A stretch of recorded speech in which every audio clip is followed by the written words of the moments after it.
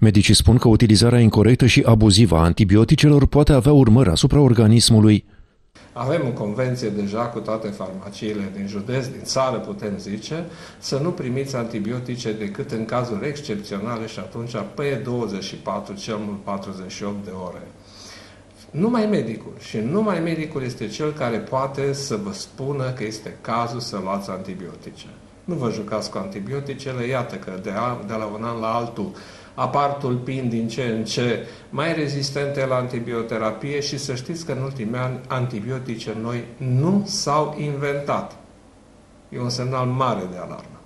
Anual, pe 18 noiembrie, se marchează Ziua Europeană a Informării despre antibiotice cu scopul sensibilizării profesioniștilor, a publicului și a factorilor decidenți cu privire la situația îngrijorătoare generată de rezistența antimicrobiană și la numărul pacienților infectați cu bacterii rezistente. Scopul campaniei de anul acesta este de a reitera importanța creșterii prudenței în administrarea antibioticelor, o prioritate pentru sănătatea publică.